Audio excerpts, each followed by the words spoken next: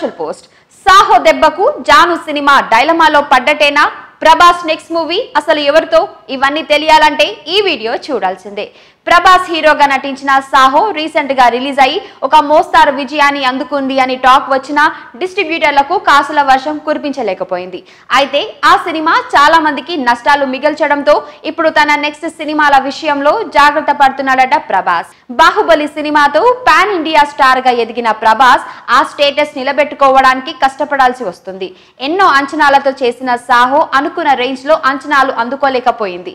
ఆ సినిమా ఇప్పటికే నాలుగు వందల కోట్ల కోట్లకు పైగా కలెక్షన్ సాధించినా కూడా హిట్ అని చెప్పుకోలేని పరిస్థితి.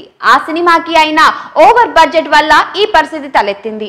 సినిమా రిజల్ట్ విషయంలో అంతా సినిమా డైరెక్టర్ సుజిత్ని తిట్టిపోస్తున్నారు. కానీ సాహో ఫలితం విషయంలో అందరికి కూడా షేర్ ఉంది. ఆ సినిమా పాన్ ఇండియా రేంజ్లో తెరకెక్కాలి అని మాత్రమే అనుకున్న ప్రభాస్ దాని స్పాన్ని అంచనా వేయలేకపోయాడు. ప్రభాస్ ఒప్పుకున్నాడు కాబట్టి సినిమాని లావిష్గా తీర్చిదిద్దాలి అనే ఆలోచనలో ఈ సినిమాని నిర్మించారు ప్రొడ్యూసర్స్. కానీ అనవసరమైన వాటికి ఖర్చు తగ్గించుకోవడం అనే విషయంలో ఫెయిల్ అయ్యారు.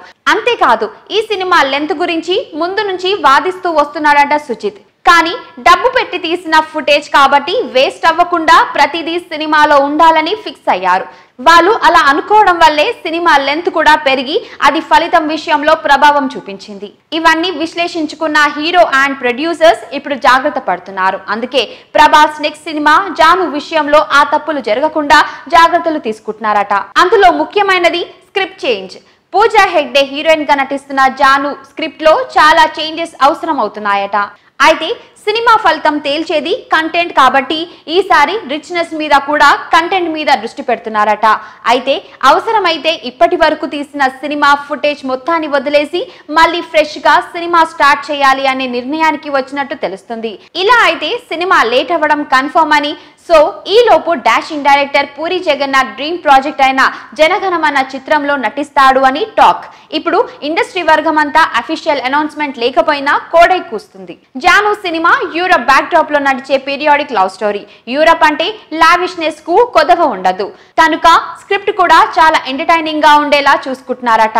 ఇక్కడ ఇంకో ఇంట్రెస్టింగ్ విషయం ఏంటంటే సాహోలా ఈ సినిమాను ఒకేసారి షూట్ చేయకుండా హిందీ వర్షన్ని తెలుగుని సపరేట్గా షూట్ చేస్తారట. అంటే ఒకే లొకేషన్లో ఒకే సీన్ను రెండు సార్లు తీస్తారు. అలాగే హిందీ కోసం కొన్ని సీన్లు సపరేట్గా షూట్ చేయబోతున్నారని కూడా తెలుస్తుంది. చూస్తుంటే ఇది కూడా సాహోలా చాలా పెద్ద ప్రాసెస్ లా ఉంది.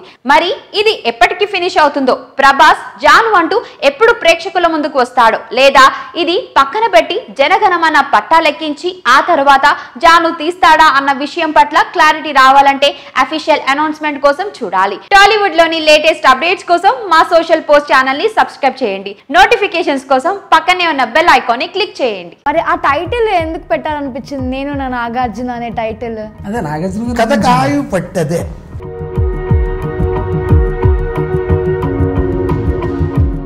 ఎలా అనిపిస్తుంది మధు గారితో వర్క్ చేయడం? కామెడీ టైమింగ్ అని అన్నారు ఓకే ఎన్ని రోజులు చేశారు shoot thirty days.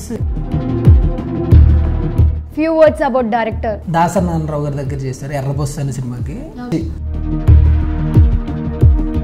ట్రైలర్ చూసినప్పుడు ఫస్ట్ మీకు ఎవరు కాల్ చేశారు కాల్ చేసి ఏమన్నారు ఆర్ఎక్స్ హండ్రెడ్ హీరో ఉన్నారు కదా కార్తికేయ గారు చూసి కాల్ చేసి